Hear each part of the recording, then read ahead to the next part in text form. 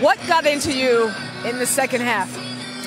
Uh, I mean, I felt like I was letting my team down the first half. I was missing some shots, and Bogey was doing a great job. And we, we were only down 10 in the halftime, and I, I knew I needed to, to make some more shots for my teammates. Did someone say something to you? Did you have a conversation with yourself in the locker room? Yeah, nah, nobody had to say anything to me. I, I mean, I know the work I put in, the confidence I have, and I just got to go out there and show it and, and try to uh, give it to my teammates and, and uh, just make plays.